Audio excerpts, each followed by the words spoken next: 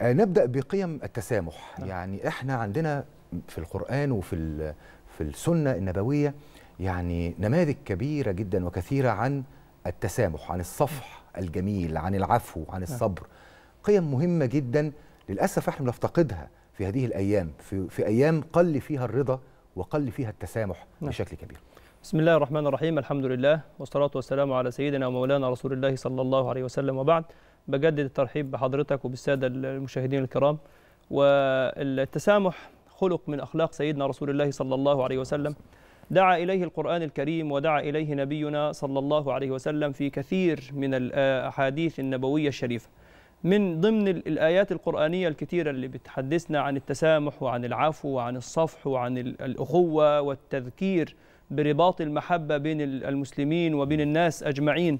قال الله تعالى بسم الله الرحمن الرحيم. وليعفوا وليصفحوا. ألا تحبون أن يغفر الله لكم؟ والله غفور رحيم.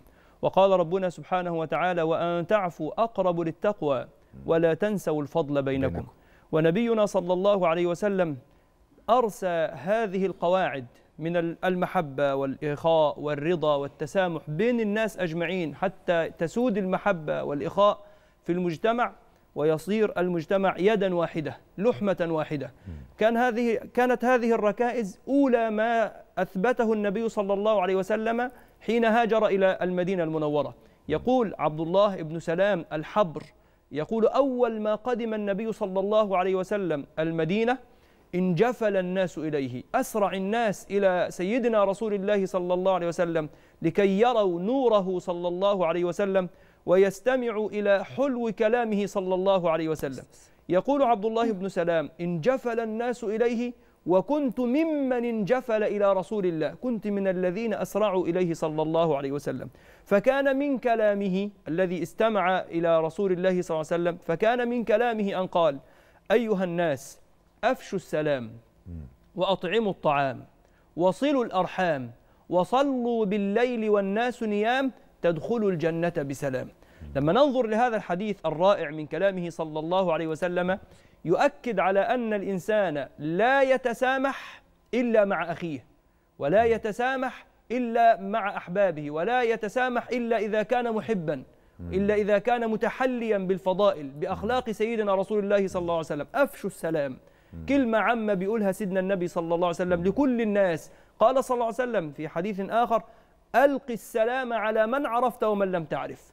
أنا إذا ألقيت عليك السلام وأنت ألقيت علي السلام وعلى من أمر عليهم ستسود المحبة بين الناس. هو ده سيدنا النبي صلى الله عليه وسلم. أفشوا السلام أطعموا الطعام صلوا الأرحام صلوا بالليل والناس نيام تدخلوا الجنة بسلام. سيدنا رسول الله صلى الله عليه وسلم الذي قال بأن التسامح والإخاء وال- والمحبة درجة من درجات الجنة بل موجبة للجنة. كلنا جميعا في الدنيا نصلي نصوم نعبد الله عز وجل نتقرب نفعل الخيرات. رجاء أن نكون يوم القيامة في الجنة مع سيدنا رسول الله صلى الله عليه وسلم. النبي صلى الله عليه وسلم طبق التسامح مع من آذاه من بغى عليه من شتمه من ضربه صلى الله عليه وسلم. تسامح معه. خذ عند حضرتك مثال.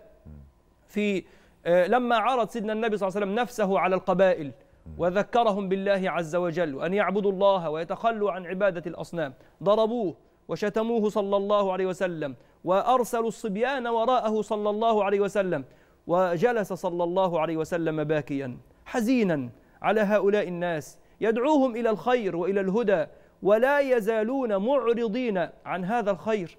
فأرسل الله عز وجل سيدنا جبريل عليه السلام ومعه ملك الجبال. قال له سيدنا جبريل يا رسول الله صلى الله عليه وسلم السلام يقرئك السلام وهذا ملك الجبال معي مره أن يطبق عليهم الأخشبين. يعني هؤلاء يبادوا جميعا. فماذا قال سيدي رسول الله صلى الله عليه وسلم؟ قال صلى الله عليه وسلم لا عسى الله أن يخرج من أصلابهم. من يوحد الله؟ سيدنا النبي صلى الله عليه وسلم تعامل بهذه القيم وهذا التسامح وهذه المحبة. العفو. و- والعفو عنهم ليس في هذا الموقف فحسب. بل إنه صلى الله عليه وسلم يعني إذا نظر الناظر بعقل قاصر في هذا الموقف سيقول بأن النبي صلى الله عليه وسلم في موقف الضعف أو في موقف الاستضعاف. يسب ويضرب ويشتم. حين انتصر صلى الله عليه وسلم بميزان العقل. صحيح. ودخل مكة فاتحا وقف صلى الله عليه وسلم صحيح. أمام هؤلاء جميعا. ماذا قال صلى الله عليه وسلم؟ قال يا أهل مكة ما تظنون أني فاعل بكم اليوم؟ أخ كريم ابن أخ كريم. ابن أخ وابن كريم. أخ كريم. لو أني وأنت أو أحد السادة المستمعين المشاهدين آه، وضع نفسه أخ كريم وابن أخ كريم. شريط كبير من الذكريات طوال عشرين عاما أو أقل بقليل يمر في ذهن رسول الله صلى الله عليه وسلم منذ أن انطلقت الدعوة إلى هذا الموقف. آذيتموه وأخرجتموه من داره طريضا وحيدا فريدا يلاقي الصحراء. وتحزبتم عليه لقتله وجمعتم الجموع لقتله وأشعتم قتله صلى الله عليه وسلم. وفي هذه اللحظة أخ كريم وابن أخ كريم فقال صلى الله عليه وسلم اذهبوا أنتم فأنتم لا يتوقف الأمر عند سيدي رسول الله صلى الله عليه وسلم فحسب بل إن النبي صلى الله عليه وسلم ربى الصحابة الكرام على التسامح وعلى المحبة وعلى ألا يحملوا في قلوبهم على أحد. طيب. سيدنا النبي صلى الله عليه وسلم عليه الصلاة والسلام. طبعا المقاطعة أبداً. لكن بكل تأكيد لنا في رسول الله, صلى الله وسلم. حسنة طبعا. لكن إحنا في الدنيا يعني في الجنة. أم، وإحنا بنتكلم تحديدا على وجود آه، خلاف مم. أو وجود اختلاف حتى في وجهات النظر تمام. بيبقى صعب شوية. إنه آه، إن إحنا نوجد وقتها آه، فضيلة التسامح أو حتى فكرة إن إحنا نتعذر أو نلتمس آه، الأعذار للشخص الآخر يعني. تمام. إزاي نقدر لو حد في شخص فرد على خلاف مع شخص ما على اختلاف حتى في وجهات النظر إزاي يقدر يوصل لفكرة التسامح أو حتى فكرة تقبل الاختلاف؟ تمام. إحنا عندنا قاعدة آه، الاختلاف في الرأي لا يفسد للود قضية. طالما إن إحنا أنا مختلف مع حضرتك وحضرتك مختلف معايا وهذا اختلاف سائغ يعني يسع فيه الخلاف خلاص أنت لك رأيك له كل الاحترام والتقدير. وأنا رأيي كذلك له كل الاحترام والتقدير. لا يكون هذا الأمر والتشبث بالرأي مدعاة إلى الخصام وإلى الهجر وعدم آه، آه، السلام والقطيعة. قال صلى الله عليه وسلم لا يحل لمسلم أن يهجر أخاه فوق ثلاث ليال. فيعرض هذا. اختلفت أنا وأخي؟ فأعرض عني وأعرضت عنه. فيعرض هذا ويعرض هذا. من أفضل هؤلاء هذين الاثنين؟ قال صلى الله عليه وسلم وخيرهما الذي يبدأ بالسلام. بالسلام. خيرهم الذي يأتي إليه ويقول ألا تحب أن نختلف ونحن أخوة؟ يا أخي إحنا اختلفنا في مسألة ولكن ما زال رباط الأخوة بيننا ما زالت المحبة بيننا. سيدي ده ضعف يا فضيلة الشيخ? في ناس ممكن تبررها إنه ممكن تتشاف أو تتفهم على إنه ضعف. جميل. آه، الذي ينظر بهذا عقله قاصر. الذي يقول بأن هذا ضعف عقله قاصر. لماذا؟ لأن النبي صلى الله عليه وسلم قال ليس الشديد بالسرعة.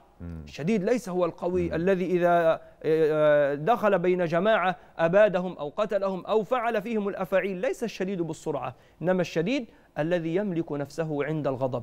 هذه القيم وهذه الأخلاق يرسيها النبي صلى الله عليه وسلم بين الصحابة لأن النبي صلى الله عليه وسلم ماذا قال؟ قال لا يخبرني أحد منكم عن أحد شيئا. مش حد ينمو إلي كلاما أو يقول انظر يا رسول الله فلان ماذا يصنع؟ فلان ماذا قال؟ لماذا يا رسول الله؟ قال لأني أحب أن أخرج إليكم وأنا سليم الصدر. سلامة الصدر هي نتاج من نتائج التسامح. وسيدنا النبي صلى الله عليه وسلم يوم من الأيام جالس من الصحابة الكرام قال صلى الله عليه وسلم يطلع عليكم الآن رجل من أهل الجنة. كل الناس يعني من ال- الجالس أبو بكر سيدنا عمر سيدنا علي سيدنا عثمان مش موجود ممكن. فهو ربما الذي يخرج عليهم يطلع عليهم من المسجد الآن صحيح. يدخل عليهم سيدنا عثمان أو أحد من الكبار. قال فدخل رجل رث الهيئة. حالته يعني مش معروف. حتى شراح الحديث ما قالولناش هو مين. رث الهيئة. آه، تقطر لحيته من أثر وضوئه. علق نعله تحت إبطه الشمال. ثلاث أيام يقول النبي يطلع عليكم الآن رجل من أهل الجنة يكون هو هذا الرجل. س- آه، الحديث طويل. سيدنا عبد الله بن عمرو بن العاص ذهب إليه وبات عنده ثلاثة أيام. ينظر حال الراجل ده. في النهار ماذا يصنع؟ في الليل هل يعني يقيم الليل كله يقرأ القرآن يسبح؟ ما يفعل شيء. غير أنه مع الناس يصلي الصلاة إذا كانت العشاء صلى ثم نام قام قبل الفجر. فيش حاجة بيعملها. قال يا أخي لم أرى لك كبير عمل. شفتكش يعني بتبكي من خشية الله ولا كذا. لكن النبي صلى الله عليه وسلم قال ثلاثة أيام يطلع عليكم الآن رجل من أهل الجنة تكون أنت طالع ما هي؟ قالوا ما فيش.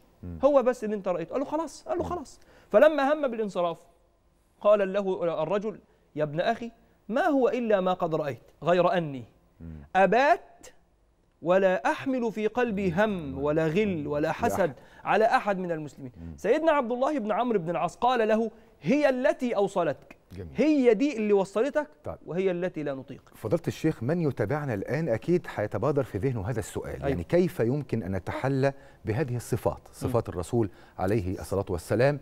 آه وكيف يمكن في ظل ما نعيشه من ضغوط اقتصادية وحياتية وظروف في بعض الأحيان آه تخرج الإنسان عن شعوره يعني تمام. في المواقف الحياتية اليومية كيف يمكن في ظل كل ذلك أن نتحلى بهذه الصفات الكريمة وأن نجاهد أنفسنا لأنه نعم. هذا هو الجهاد الأعظم أن جميل. تجاهد نفسك صحيح. أن تضبط آه، أعصابك أن آه، أن تكون قويا وأن تتماسك وتتمالك نفسك ساعة الغضب وتتحلى بهذه الصفات التي فيها رضا وتسامح وعفو جميل المشاهد الكريم حين يسمع هذه ال- الأحداث التي ذكرناها يعني تتوق نفسه ويشتاق أن يتحلى بهذه الفضائل. هذا اشتياق قلبي محبة قلبية شعور داخلي. الله عز وجل قال في القرآن الكريم إن يعلم الله في قلوبكم خيرا يؤتكم خيرا. إذا كان هذا الشعور وهذه وهذا العزم والإصرار على أن تتحلى بالفضائل تكون سمحا مع الناس تكظم غيظك لا تبادل الشتيمة بالشتيمة ولا السباب بالسباب وتكون مقتدي ومؤتسي برسول الله صلى الله عليه وسلم إن يعلم الله في قلوبكم خيرا يؤتكم خيرا. ثانيا أن الإنسان حين يكظم غيظه ويسامح هو لا ينتظر من الآخ من الناس لإنما ينتظر السماح من الله عز وجل. والجزاء من عند الله. والجزاء من عند, الله, عز وجل. فمن عفا وأصلح فأجره على الله. شوف حضرتك آه، آه، ال- الله عز وجل دعا للمسامحة والصفح. حتى فين؟